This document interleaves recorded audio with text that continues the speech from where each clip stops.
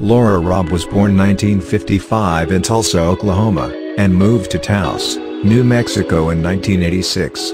She sensed in the village a certain encouragement for artists and for self-expression in particular. This experience of artistic freedom nourished in her the spontaneity for which she is known. The lines, forms, features and even colors in her work are suggested rather than spelled out. Her canvases are quite thinly painted, often whole passages in a work are rendered in a kind of color shorthand. Robb's interest in spontaneous gesture has led her to paint rather small paintings.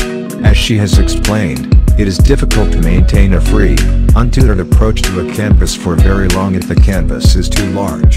Her works are often in the diminutive format of 12 inches by 18 inches or smaller. Robb's work is quite original. It maintains the surface appeal of a familiar composition, but beneath the floral bouquet or still life arrangement lies a technique which is very fresh, lively and engaging.